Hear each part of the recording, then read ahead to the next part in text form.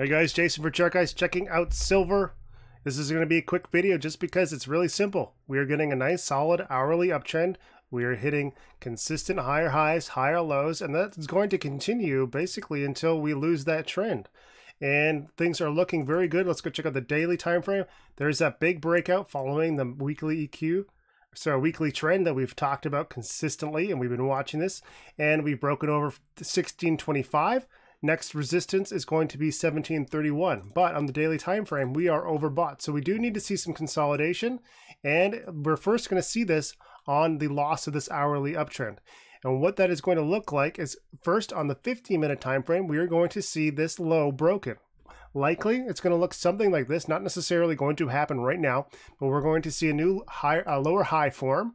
Then we're going to see a lower low form on the 15. What that is going to do is change what we've been seeing here over and over and over. Consistently, we're getting a higher high, higher high, higher high, higher low, higher low, higher low, and then that pattern needs to change on the 15 minute time frame then it's going to carry over into the hourly time frame and then it's going to carry over into the daily time frame so watching that 15 minute level as soon as we lose that uptrend and we start setting lower highs and lower lows, that's when you want to exit your position. Assuming you're in one on this hourly uptrend, the first sign of weakness in trend change is when we're going to bail. So we're going to be watching for that.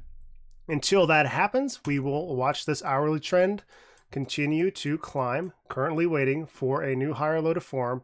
And on the hourly time frame, anything over 1613 is going to be okay for the bulls on the 15 minute time frame current support let's go take a look at that is actually just right down here on this flush right now 1627 and then nothing again until that hourly and 15 minute support 1613 so that's it for today. Really simple video really good action but overbought on the daily time frame rsi definitely needs to cool off. Still almost overbought on the hourly uh, time frame as well. So a lot of consolidation due but massive breakout a lot of strength here and this is going to be the first daily consolidation. Hopefully we'll get something like a daily EQ like we saw on the gold breakout, giving us lots of time and warning to get our positions ready for those trade opportunities. And that's what technical analysis is all about.